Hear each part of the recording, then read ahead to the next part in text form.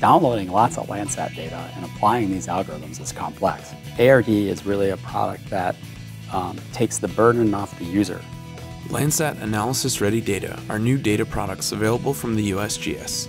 These products are processed to the highest scientific standards for time series analysis, taking Landsat Collection's Level 1 terrain corrected scenes and generating data ready to be analyzed without any further processing from users.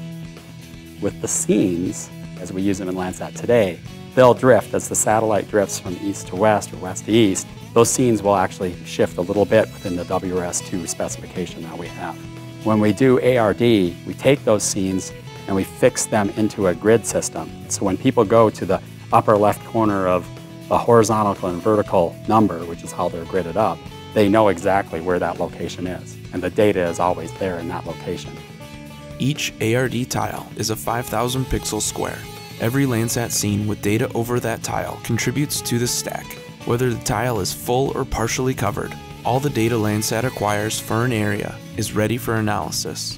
ARD also includes information on the usability of each pixel.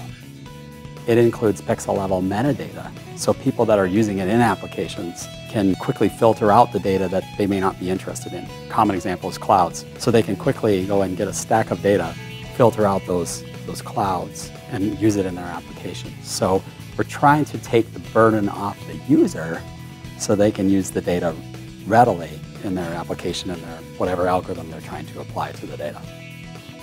Analysis ready data is the best way to get every pixel of data from Landsat. ARD products from Landsat 4 and above are available to search and download from Earth Explorer